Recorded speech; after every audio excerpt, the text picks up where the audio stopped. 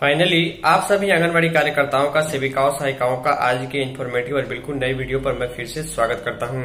आज के लिए बिहार की आंगनबाड़ी केंद्र, सेविका, सहायिका मानदेव पोषाहार, पोषण ट्रैकर का कोई काम, कोई अपडेट ऑनलाइन ऑफलाइन काम, किसी प्रकार का निरीक्षण रजिस्टर मेंटेन आईसीडीएस का कोई लेटर किसी प्रकार की जागरूकता कार्यक्रम टीएचआर का वितरण, आंगनबाड़ी के सेविका, सहायिका का मानदेय का पोषाहार गोद भराई अन्नप्राशन मोबाइल रिचार्ज का पैसा या किसी प्रकार का अमाउंट का क्रेडिट ड्रेस का पैसा या फिर कोई इसके रिलेटेड जो खबर है, हम आपको इस वीडियो में जानकारी दे देते हैं।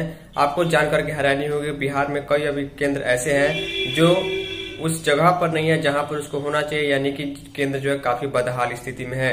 इसी के संबंध में से खबर है, चलिए हम आगे आपको दिखा देते हैं। ध्यान दीजिएगा, आपको जो ये आंगनबाड़ी केंद्र दिखाई दे रहा है, केंद्र में तो बच्चों की संख्या अच्छी है, बीस पच्चीस के लगभग है, बच्चे खाना भी खा रहे हैं। लेकिन यहाँ पर एक बात देखिए कि इस एरिया के किस तरह के क्षेत्र की जो है वो बच्चे हैं, जहाँ पर बच्चे जो हैं खुद कपड़े भी पहन कर नहीं आ पा रहे हैं। यानी काफ़ी गरीबी है और ये खबर महादली टोले के संबंध में है। लिखा गया, अनदेखी केंद्र से सटे ट्रांसफार्मर भी लगा है, जहाँ कभी भी शॉर्ट सर्किट से आग भी लग जाता है। आंगनबाड़ी केंद्र में 22 बच्चे गंदगी के बीच पढ़ाई करते हैं। गढ़हनी, ये भोजपुर, बिहार के भोजपुर यानी आरा ज़िले की खबर मैं आपको दिखा रहा हूँ। लिखा गया, नगर पंचायत वार्ड दो शांति नगर में अवस्थित, आंगनबाड़ी केंद्र संख्या 22 के बच्चे सामुदायिक भवन में पढ़ते हैं। जहाँ चारों ओर गंदगी ही गंदगी भरी पड़ी है।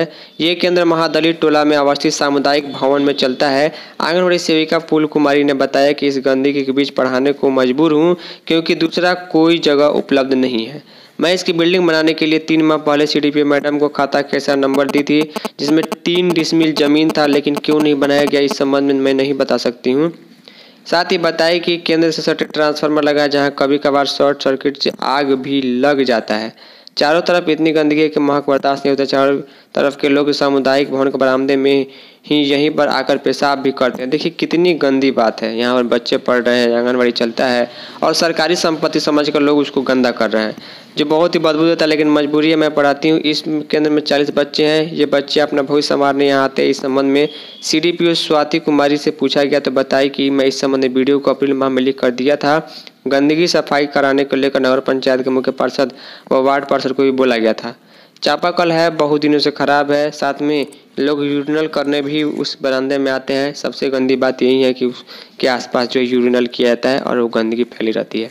उम्मीद करूँगा ऐसी दुर्व्यवस्था उन केंद्रों पर ना हो, कम से कम बच्चे भी आएँ और सेविका सहायिका भी अच्छे तरीके से माहौल में पढ़ा सकें। इस इन्फॉर्मेटिव वीडियो में इतना ही। धन्यवाद।